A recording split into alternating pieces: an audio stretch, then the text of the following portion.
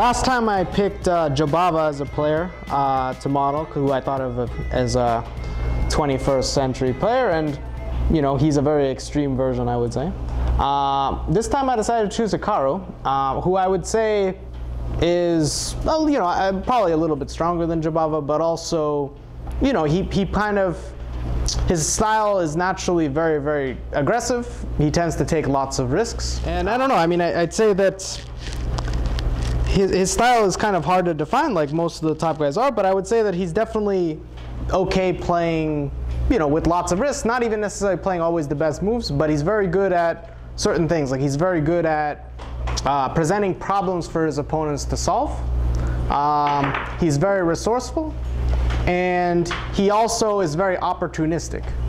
So if you give him any sort of chance to take advantage of something, uh, he'll almost always be ready to jump on it. And um, that's one of the things I wanted to focus on, yeah? So this position is kind of weird. Like, I, I'm not exactly sure how to evaluate it. What do you guys think? I don't think this is an example of a bad position. But as I said, I think it's actually very difficult to evaluate this position. Um, tell me why.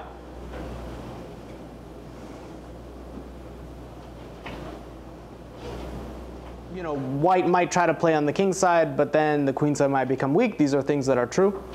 Um, but okay, I think the important things are black's king. That definitely matters. Why? What is wrong with black's king? It has no pawns in front of it. What do you mean? G6 and H5 are still there, as far as I know. True. If the pawn were back on H7, I would like black's position more. I think we could all agree with that, right? Uh, black's a little overextended there. Um, so that king is always going to be a little bit open. But why is black not just busted? Usually if your king's open in a Sicilian, your position's horrible, right? What is what does black have in his favor? The knight on e5. In general, in Sicilians, if black can secure a piece so well on the e5 square, uh, usually a knight, uh, it's very problematic because the knight there not only defends the king side, which is a little bit weak, but it also controls all the important squares. It hits the bishop on d3, so if you ever want to get rid of that bishop, you can. It threatens knight c4. It holds a lot of crucial squares. Um, and it just basically makes it so that it's really difficult for white to do anything with that knight there. Um, and I think because of this, the position may even be roughly balanced. But, okay, as one of the things I've noted is that with Hikaru, he doesn't always care whether he's better or not. Now, sometimes this can be just uh, like not an advantage. He can sometimes, you know, play into positions which aren't so great for him and get punished. But a lot of the times I think it actually helps him out because he's far less restricted. He's not bound so much by trying to find always the absolute best moves. He's just, you know, he wants a kind of complicated position. He likes complicated positions, but he's also, you know, he, he doesn't always care whether he's better or not. He just wants to play moves and, you know, create problems for his opponents. So how can white improve his position? Uh, for those of you who have not seen the game. For those of you who have seen it, I think you can come up with something. All right, so how can white improve the position? I'm not asking for a, a huge sacrifice or for some dramatic move. Small improvement.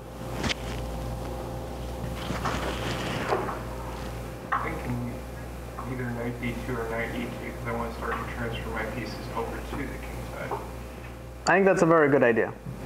Um, the question is which knight do you start with? And I, and I honestly think that it, it, could very well be that both moves are okay. Uh, he ended up starting with knight e2. The reason I like this move is because in the beginning of the game, this knight makes perfect sense, right? You're controlling the central squares, you're controlling the e4 pawn. But now, this pawn's defended way more than enough times, right? You got three defenders and one attacker. This pawn does not need to be defended by that knight. But this knight is also restricted, right? It can't move here, it can't move here. So this knight often ends up being kind of misplaced later in the game in a Sicilian. So usually you move it there early because it looks nice. And this happens to lots of pieces in lots of openings, where at first you put a piece on a really good square. But as the game progresses, your opponent controls the squares it can move to, it becomes not such a good square. You have to fix it. So he played knight e2. So where is that knight headed, most likely? Very good. All right. So black played rook e8. He doesn't want to give up his pawn on e6. White continues with the plan.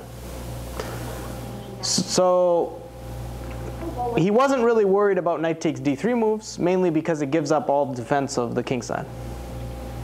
So what do you think black should play here? Yep. Bishop h6 because it pins the knight to the queen. It's an excellent move. Um, pins the knight to the queen. Okay, the queen can move to g3, for instance. Um, and then you have to calculate lines like bishop takes f4, queen, knight takes d3 and e5, but maybe your king's too open. Probably is. So maybe you just play a move like, you, you still have to be careful. Like what do you play after um, queen g3?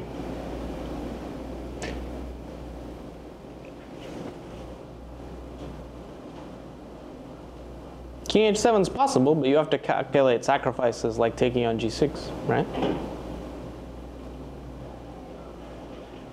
I don't think it works. But yeah, king h7 looks reasonable. I also am not convinced this is so bad because you can take, take, ah, I guess maybe there's this move. That, that is probably, oh no, wait, of course. Whoops. Good thing I wasn't playing this game. But pawn takes knight. e5, queen h6, and now you're not obligated to take the bishop. You can move back. And actually, this position might be pretty good for black because here, this knight is really awkward. Queen can come into c2. Probably not so bad. But okay, black's, white doesn't have to play queen g3. For example, rook f1 is probably a reasonable move. Um, but the point is black's totally in the game. It's just a normal position. Uh, instead, black decided that his queen was out of play on the queen side, and he wanted to bring it to the king side. Played this move. So for those of you who have not seen the game, what are white's options? Well, what moves do you look at first, every position? Well, what tempo moves are possible? Just list them. Knight takes e6, knight takes h5. Any of those, queen g3 is a tempo move, taking on e5, of course. Oh, wow, okay. I actually saw this game. So, any of those look promising? Yeah. Knight takes Obviously. Okay. So believe it or not, black resigned here. Question is, why did black? Now, resignation was a little premature, but he did, you know, it is a losing position, most likely. The question is why? Why does this work? It looks like black, the position was normal just a move ago, right? Black had play bishop h6, it would be totally normal. And this is actually one of the reasons why bishop h6 was a good move, because you prevent this move. Well, since knight takes e6, queen b3, so just. And this is a serious problem. Because the knight's pinned and it doesn't have a good defense. Well, if king f7, e5. If king f7, Rook f1, though, or sorry, rook. rook f1 is a little bit more precise. King has nowhere to run to guard this knight. If king here, incidentally, you probably are going to play check. It's not mate, the knight can block. But you can take here, take the queen. You can do lots of wonderful things. Now, for someone who is not under the age of 16, what is the move here? Thank you. e5. The bishop pins the knight, and there's no way to defend it. The knight can take, but you simply take this knight, and notice again, the pin is just too much. So it seems like kind of a sudden end to a normal game, right? But I think that, and okay, black clearly blundered. Black was a pretty strong GM. I mean, it's not like he normally would make a mistake like this. But one of the things that Hikaru is very good at is he knows kind of how to put pressure, and he's always looking for traps. Now, he didn't play for just a trick. He didn't, you know, put some piece on a weird square just to play for one little trick. He improved the piece, right? But he improved the piece knowing that this trick was there. And he's very good at pouncing on opportunities when his opponents don't quite see what he's up to. So yes, knight e2 to f4 is just a nice improvement for the knight. There was no real mystery, right? It looked like just normal moves. But knight takes g6 was a definite problem. And it wasn't one that black uh, spotted in time. Again, having to resign after one move is kind of sad, but the way it goes. All right, uh, so the next one. So yeah, this was his next, um, this was another game of his from the Olympiad. So in the opening, he actually had a lot less space than his opponent, but he snagged the two bishops. So it's kind of a common, you know, I would almost say, what openings does this look like for reverse colors almost? What structure? Always looking for the structures, right? Remember how, for those of you who are here for the previous lecture, the Benoni structure? I'm always looking for the structure.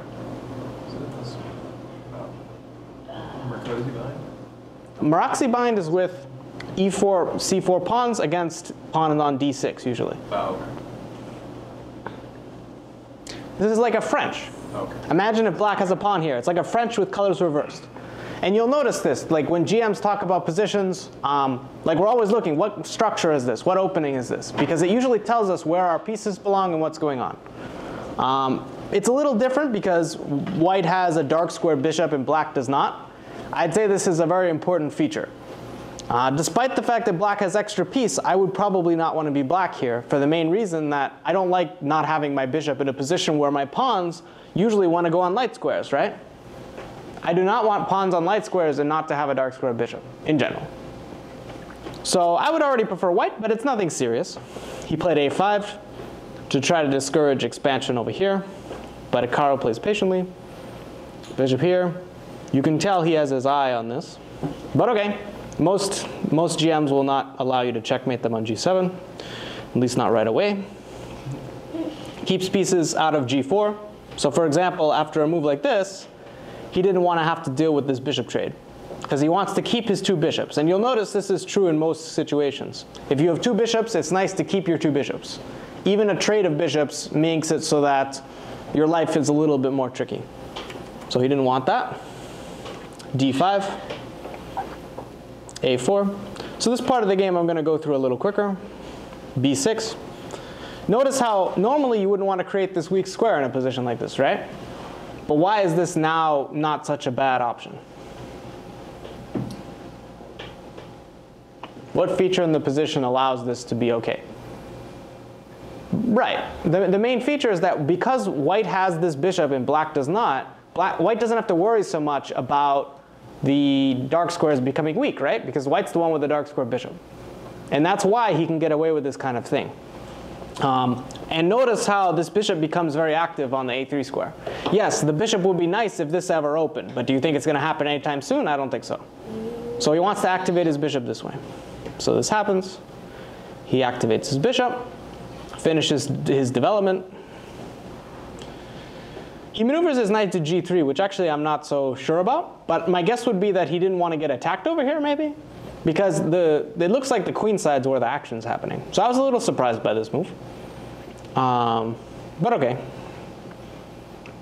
He decides to put his knight on g3, castles. Brings his rook. He's not really worried about h4 because the knight can always come back. And now he builds his position. And now this is the part of the game where I'd really like to start because he plays rook c2, preparing just to double rooks and then eventually try to take over the c file. And black decides to mix up the game with b5. Now, if it were me, I would probably not want to deal with this. I probably would have played queen d2 on my last move. Why would I want my opponent to be able to play b5? One of the features of Hikaru's game is that he does not mind his opponent com complicated the game. Even if he's better, he often just likes complications. He almost wants to tempt his opponent to go into them because he's so confident he can calculate them better than his opponent. That isn't to say if he's totally winning, he's going to allow counterplay every time. That would make him not such a strong chess player. Uh, and he's a very strong chess player. The key is that he will doesn't mind allowing complications as long as he thinks they're decent for him. And he also, you know, thinks he has them covered better than his opponent does. Because b5 could be a really nasty move if you don't expect it, right? All of a sudden, if the pawn lands on b4, your bishop's not as good. Um, you know, it might grab the c file for black if you're not ready to, to deal with it. So the question is, how does he deal with this move? So let's use process of elimination uh, a little bit. What move do we not want to allow under any circumstances? So how can we prevent b4? I play before. That's possible, but that would also give up c4, right? So let's find a less drastic solution to our problems. Bishop d6 is possible, but the bishop doesn't have that many squares, right? So I would be a little bit nervous. Not to mention that you have to watch out for, for example, b takes c, b takes c, knight b6, right? Attacking the bishop, the knight might head to c4. I, I don't think that's something you want to allow, probably. Does that make sense? Yeah. Remember, it's Hikaru, right? He likes to solve his problems tactically.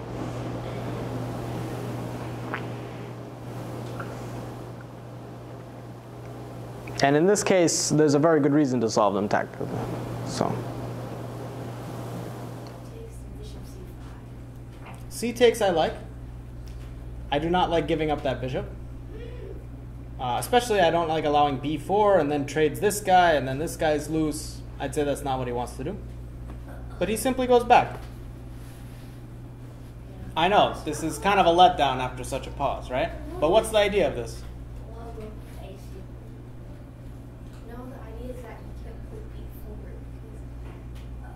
Right. Yeah. There's a pin on the bishop. It's that simple. And he thinks that b5, while an active move, also created weaknesses. Now this is weak, now this is weak, there's a pin. So he thought that he actually was provoking his opponent a little bit to play b5 in order to give himself weaknesses. This is something else I've noticed he likes to do. Uh, more so than a lot of chess players, he likes to provoke his opponent into advancing or into making things complicated a little bit. Um, and in this case, I mean, he kind of has a point because those two pawns look very weak. So black took and played queen b8, trying to defend. White played this move. So again, being tricky, right? Because this bishop is not defended, he can try to attack this pawn. And it's kind of an annoying thing. Um, So in this position, black played h4, which I actually think is a poor move because after h4, knight f1, I think the knight's improved a little bit. Oops. This was the move I expected. And here, black, white actually could do something which is quite good. So forced you take, bishop takes. So the question is, what's the idea here? So taking on a5 runs into what? Bishop takes e2. Followed by? Do you want to trade all the pawns? no. Because it makes it more drawish, right? So? Does anyone remember the rule I gave you at the beginning of this game? Regarding bishops? Oh, bishop Oh, keep the bishop there. Yes. When you have a bishop pair, you want to keep it. Bishop d1 looks like kind of a silly move, right? You're, you're putting your bishop on a like a weird square to avoid the trade. But sometimes moves like this are actually very strong, and I think that's the case here. Because now, not only are you avoiding the bishop trade, that's only part of it. Part of the deal is that now you're defending your one weakness on the queen side. But what, what pawn will be much tougher to defend for black? a5. a5 is going to be extremely weak here. The bishop can maybe maneuver via b2 and c3. The knight can come back via e2 and go either to f4 or to c3. Basically, black's going to be tied to defending this a pawn, and life is not going to be so pleasant. Um, so bishop d1 would have been a really nice move, and again, I think he would have spotted it, but. Um, but yeah, it's basically it, it really illustrates the point that when you have just one side of the board where there are weaknesses, you want to make sure that your weaknesses are defended while you can attack your opponents. And avoiding the bishop trade really does that. Because note how this bishop, okay, it can go here, but it doesn't really do anything there. And it can't really attack this pawn, right? This pawn can't be attacked by this bishop. So, so h4 was played instead, and then rook e6. But now he can grab this pawn uh, quite safely. Um, So, pawn takes pawn. Bishop takes, queen a8. This was the defense that Adhiban was relying on. And I actually know him, I, I played him um, at this tournament in the Netherlands. We analyzed a bunch. Tactically, the guy is uh, very, very strong. And this was back when he was, say, uh, lower rated GM. Now the guy is, you know, approaching 2700. is probably going to be uh, an elite GM at some point. Uh, but tactically, he calculates very fast and very accurately. Um, but when you're you have one guy who's approaching 2600 playing a guy, or sorry, approaching 2700 compared to a guy who's approaching 2800, there's still a level gap. Um, and while uh, Adhiban calculates extremely well, I still wouldn't take him over Hikaru in that. Um, and my guess would be that Hikaru simply outcalculated him in this position. But the key is, what did Hikaru see that maybe Adhiban missed? Because this was clearly black's defense. This was the idea, to be able to pin this bishop and win it. Uh, if queen takes a4, rook takes a6, the game becomes very messy, right? Even though you're up a pawn, you have a pinned bishop, life is not so pleasant. So what was Hikaru's idea?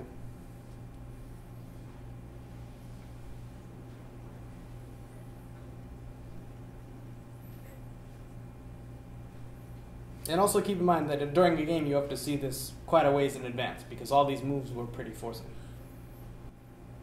Well, let's make this easier. Black's threat is what? With with the rook, right? Yeah. Prevent this move. Bishop D6 or lower is thinking. What? It was a good thought. This move is possible, but after takes, here a3 black kind of hangs on. Uh, it's not over yet because this pawn is actually slightly annoying. You've given up your light squared bishop. It's not so easy. This move is very clever because now, um, if rook takes bishop, you just take on a4 and you're up a very, very clean pawn because you control all the queenside squares. If you allow rook takes a6, then black controls the a file. It becomes much more complicated. So, quite a move, right? Hanging one bishop to save the other. Um, but black decided to take this pawn instead. And this is a very, very common idea when a side is thinks they're losing. He could have taken on d6 and allowed Hikaru to take on a4 and then just be a clean pawn up. But he thought, okay, I'm Hikaru's technique's good enough, he's just going to beat me. So what I want to do is I want to make a slight mess of the game. I want to keep the game complicated to give black a chance to uh, let me back in it. So, what now?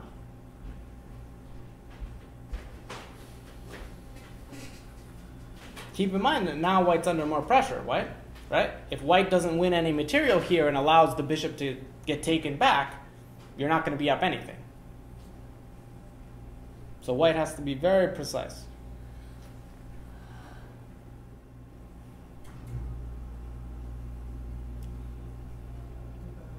Mm-hmm. A good start. He played a3. Um, I think the moves are actually equivalent. Uh, I think the purpose of queen a3 though is to make it so this bishop can move. After queen b4, this bishop can't move. So maybe a move like knight e8 would be possible. Not totally sure, but I think that queen a3 makes it a little bit nicer. But okay, b2.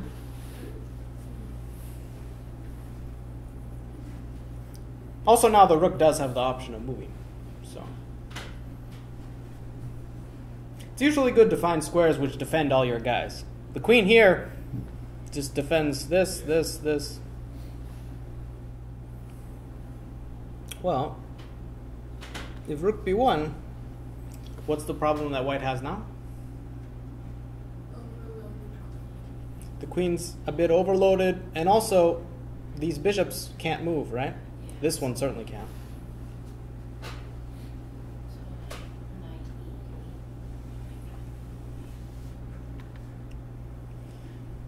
Maybe this one?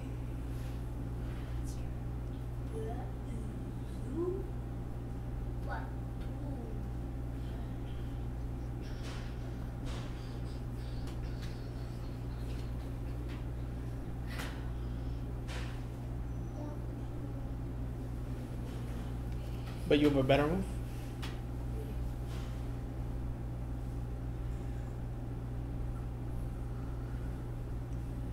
So the idea of bishop b5 is that because your queen on a8 hangs, you allow me to get out, right? So what was your idea? Uh, can I still move my bishop? I assume that's a yes. This tongue sticking out usually means yes. So, what else? Prevent this resource of bishop b5. Your very cautious tone is appreciated, but yes. Queen c6. If this bishop moves, this one hangs. So that's the skewer of death right there. A skewer and an X-ray. It's nice when tactics combine. They they're very picturesque. Anyway, it's very depressing for white because one of the bishops has to fall, and with that, probably the advantage. And that's why Hikaru took on b2. But think about this. Not only to give you an idea of the level that these guys are at, not only do the, all these moves have to be correct now, because this whole sequence is forced, he was probably thinking about this over five moves ago. So five moves back or maybe more, he had to think about this whole sequence before he went down it. Now, it doesn't mean he didn't he calculated it with no errors. But it means that those are the kind of calculations you have to make. And both these guys are extremely strong calculators, so they can actually do this. But even guys like this can make mistakes. And often what it means is one guy sees a little bit more accurately or one move deeper, and that makes the whole difference in the line. And these are the kind of battles that Hikaru likes because he tends to win them because he calculates so well. So he takes on b2. Rook takes d6, but black has even material. How is what? How is white supposed to win? Uh huh. Uh huh.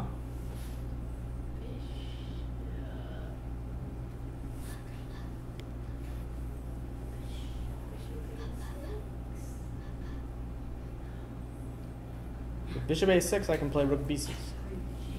Bishop c6. With bishop c6, I can play knight takes. No, I can't.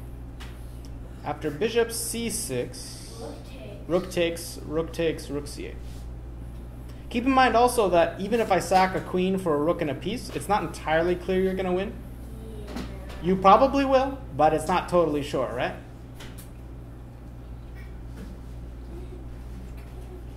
Bishop c8. Bishop takes. Bishop c8 is very cute, but the problem is I can move my knight then. Or play rook b6. Bishop takes d5. Yeah. Sometimes you, you can't win a piece, you know? Sometimes all you can win is a pawn. And it's funny because he gave up a pawn to win this pawn. But this is a very, very important pawn. Because now e4 is really weak. Not to mention that I would say black's king is not ideal. But okay, he's still not done yet. Rook b6.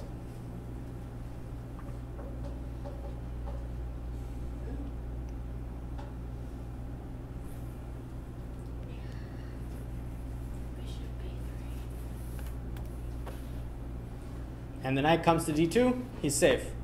Notice how if black had not played h4 with the knight on g3, black might have had more chances to do something here. But because he played a move forcing the knight to a better square, it, it's hard to believe that f1 will be better than g3. But the knight on d2 is actually a pretty good piece. Um, so you can get why I was a little confused why Hikaru put it on g3 in the first place, but uh, it's a little too deep for me. So uh, bishop to b3, and then here he was able to win pretty smoothly. Um, so black played king g7. So the key to a position like this is okay. You're up a pawn. You probably should be winning because black also have, has weaknesses. The f7 pawn's kind of weak. The e4 pawn, white's pieces are a little better. The key is to make sure you always are maximizing your pressure and not giving it up. For example, if you have an attack or you have a lot of pressure involving the queens, you don't really want to trade them, even though trading queens often, you know, will give you an endgame, which usually you want to trade pieces when you're ahead, right? But if you have an attack or you have pressure, you don't want to give up one of your good pieces for your opponent's bad pieces. So I think in this game he used a pretty good combination of, you know, keeping up the pressure while not allowing counterplay. Even someone who likes complications like Hikaru does, he's not going to allow some, you know, insanity for the most part when he's just winning. Uh, and in this position, rather than being better, he's probably just winning. So he doesn't want to allow too much. So, uh, and again, these positions there are lots of different moves. Uh, he plays queen c3. He doesn't want to be in a pin for longer than he has to. Queen d7 brings his knight into the game. All pretty logical, right? Rook to c6. He pins himself. Although in this case, that bishop's pretty well defended. Um, and okay, next move, he can think about playing queen a5 or queen b3 and trying to attack stuff. So the knight got off the back rank. Rook a7. So notice how he's kind of just improving and taking his time. Um, so the rook on a7 is just a slight improvement. Pins the knight. Uh, there's some pressure along that, that uh, the seventh rank. Just kind of an annoying thing. So black played rook b6.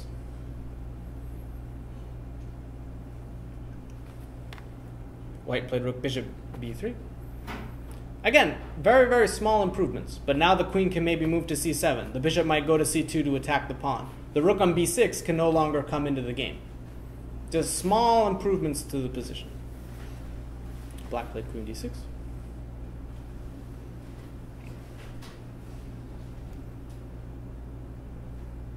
So, what to do? And keep in mind, there might not be more than one good move here.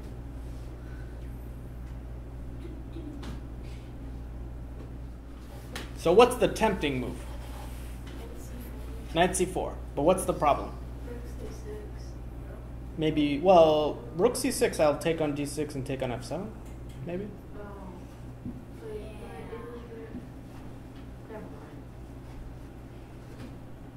I don't think it works. Uh,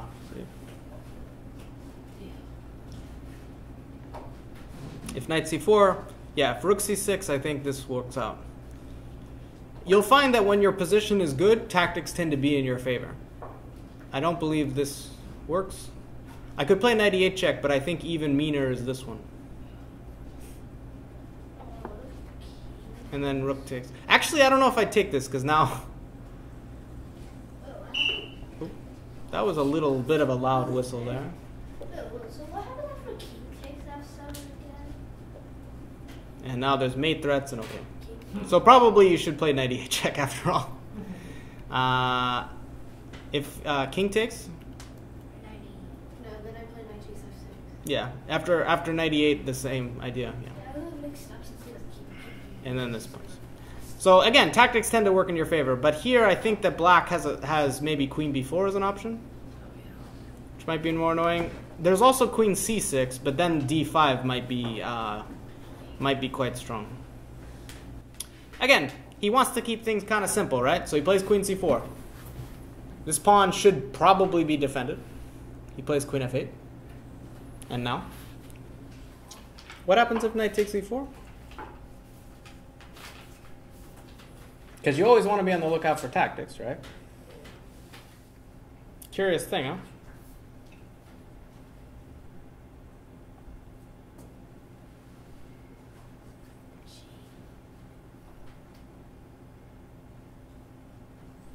Could be rook b4 is the answer. Yeah, I thought rook before the queen b8. Because now you're tied to this.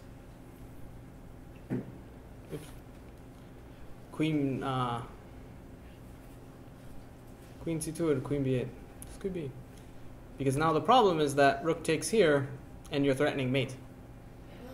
So remember that these guys are these guys are both very very strong tactically. So they're always looking for traps. That's a pretty nasty trap, wouldn't you say?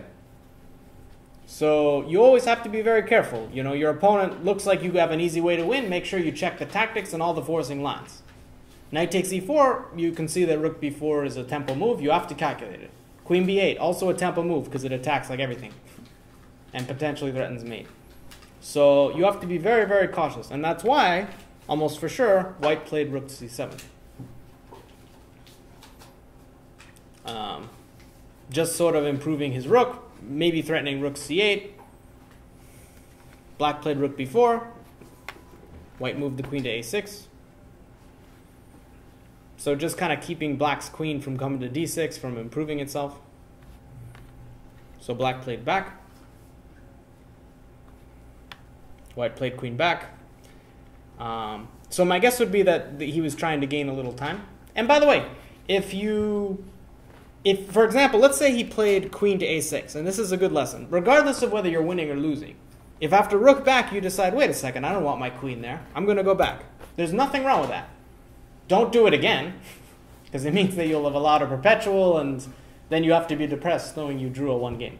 But repeating the position once is something GMs do all the time. And we do it often on purpose. First of all, it actually can mess with the head of some people. Because they're like, oh, why, why is my opponent going back and forth? Do I want to draw? What's going on? And meanwhile, we're just thinking about what we're going to do next. So repeating doesn't mean you're going to repeat more than once. So repeating once is totally fine. And oftentimes, and actually it happened here, repeating once makes your opponent second guess themselves or feel like they should improve their position. And oftentimes they play a bad move to avoid the repetition. Adhiban could have gone back, but he was like, but then white will just play queen c3, for example, and improve his pieces, and I wouldn't have accomplished anything. I'm going to try to punish him for going back, and I'll play this move. However, what's the problem?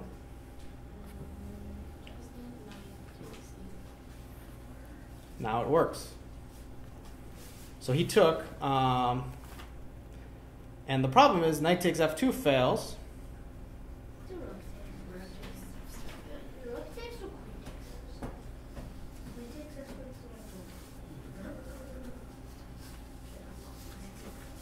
queen Well, which one? takes. Queen takes is actually very important because if you take with the rook, and this was, by the way, was almost certainly Adhiban's his idea. And now you're kind of a little embarrassed.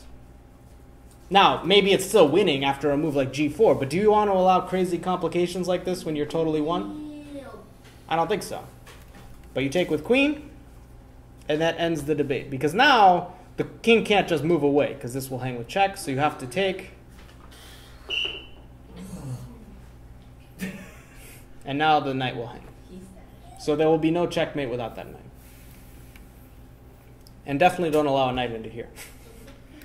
Um, so notice how you know he's these guys are always looking for tricks and to, and and trying to you know improve their positions, but you also have to be on the lookout for tactic and the details all the time. So it's very important that queen takes f7 is available. He played king h6 instead, which is kind of tricky. But now he just plays here, which is a nice move because now knight takes f2 fails to what? Yeah. And from here on, it was pretty simple. Played knight g5. Incidentally, any chance you have to tie your opponent up usually makes the win very easy. And it also makes it easier on you, right? Because if your opponent has almost no moves, you, you, there, are, there are fewer chances you're going to miss something. If you give your opponent lots of options, maybe one of them will be good, right? So it's funny, there are, there are some positions where you want to give your opponent options because they can mess it up. But often when you have a won position, you want to give your opponent very few options. Queen here is a very nasty move because it hits this pawn, hits this guy, and just ties black up completely. So he played here. He grabbed another pawn because why not? Queen here. And then, okay, there are many moves to win. He chose kind of a nice move, which is this one. Mm-hmm. The idea being that now, if the queen takes the bishop, you have mate. If queen b1, you also have mate. So he has to trade. But this, this endgame is not salvageable. And he just resigns. Three pawns against the super GM is usually too much. Um, so that was that as far as this game goes. Um, but note how, you know, okay, he, he got a slightly better position from the opening, at least in my opinion. Um, but the way he won was he kind of let his opponent, you know, come to him. He didn't actually feel the need to just rush after his opponent. He built his position a little bit, and the second his opponent initiated tactics with b5, he just said, "Well, I'm just going to outcalculate you." Um, he grabbed a pawn when he needed to. He calculated the long sequence very well. Um, but that was the main difference between them this game, that he simply calculated a little bit better and a little bit deeper.